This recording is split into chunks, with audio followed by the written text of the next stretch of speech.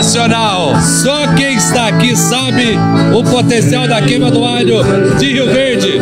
E meu amigo Marcos Aparecido, grande locutor, inclusive, anunciando as atrações inúmeras aqui nessa tarde. Ei, Cristian, um abraço para você, a todos os telespectadores da Goiás TV.